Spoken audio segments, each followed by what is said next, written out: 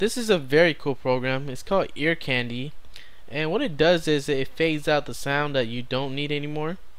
Like let's say um, uh, you listen to music, right, uh, on your Rhythmbox, and uh, you're surfing the net and you see a video you want to watch, and then when you play the video, you know you usually have to uh, mute out or stop the music that you're playing. And then you watch the video. And after you're done with the video you have to you know turn the music back on right uh, what this program does it takes care of that. So as soon as you're playing the video it's gonna fade out the music uh, for you. And when you're done watching the video it's gonna fade back the music and uh, where you left off right? Or uh, it'll continue without you ever pausing okay? Uh, so it, it works the same thing if you're like having a Skype call. So you're listening to music, you're watching a video, whatever, and uh, a Skype call goes comes in, and um, you know you wanna you wanna pick it up and you wanna take it, right? Uh, what it's gonna do is gonna fade out the music, the video, whatever it is, and it'll let you continue the call, right?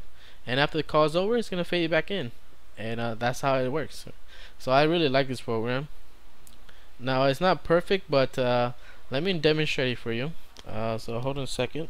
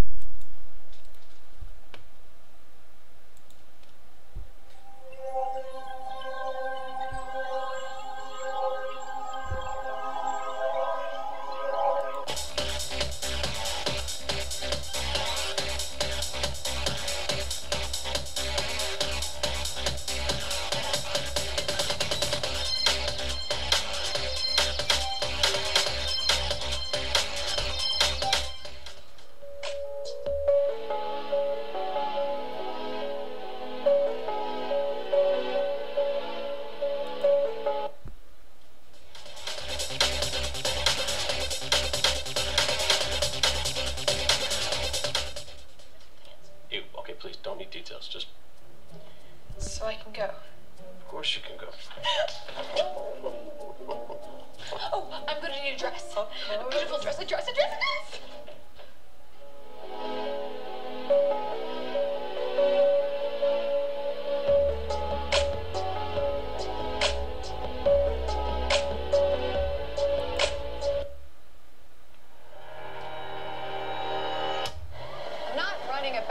check on your daughter's date. Oh, come on. She says he's quiet, he keeps to himself, and he lives with his parents.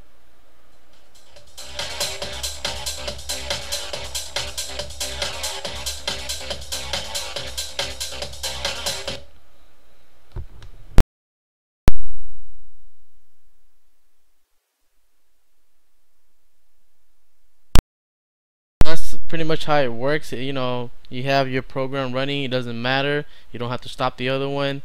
Uh, all you gotta do is play uh, the one that's um, to your liking, and they have a, a, hierarchy. Like you know, Firefox will be better than the, the video player, and the video player is better than than uh, the music player.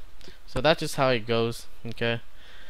Uh, now to get it, um, you install is kind of different this time. Okay, but um, you still have to use the damn terminal. So bust out the terminal and they give you the command lines here to uh, enter it. But uh, first you have to install this uh, package called uh, BZR so um, all you gotta do, do is um, uh, sudo apt-get install BZR and after that you just uh, follow the command line here. Like they tell you to do right? So copy the first one. And that's pretty much how you install that one. Okay so run that command line. And the next two command lines just to uh, run it okay? But uh, uh, that's to run into in the terminal cd uh, icandy and all that. Uh, but I like to make a shortcut. So um, basically all you gotta do is make a shortcut is um, uh, point it to where uh, that file is located okay? So you go to your menus here and you know, edit menus. And then in here um, you know you make a new one new item. And I already made one so it's ear, uh, ear candy here. And in there all you gotta do is point it to your um, ear candy folder. And in in the inside that folder is a ear candy uh, uh, app right? And that's how you would run it. So that's the command. Uh, the same thing you can do with the same commands is um, in the startup. If you want to auto load it every time you start up um, just go into the startup applications and uh, do the same thing you know uh, go to add and then uh, you know inside all you do is uh, the same type of commands okay? So ear candy and then ear candy uh, the application. And that's pretty much it if you want to auto load. Now they got some options in here. So this is the ear candy uh, icon up here right? Uh, once you have it running. So I click on that you get a preference. And in here let's say if you're running a totem uh, you see you'll notice that um, all the things that's running all the auto player right? Uh, Firefox um, totem and then a Rhythmbox. Now if it says unknown uh, you usually have to go and click add and you click on the stream that is using um, like I don't know if you if you have Amarok or something right?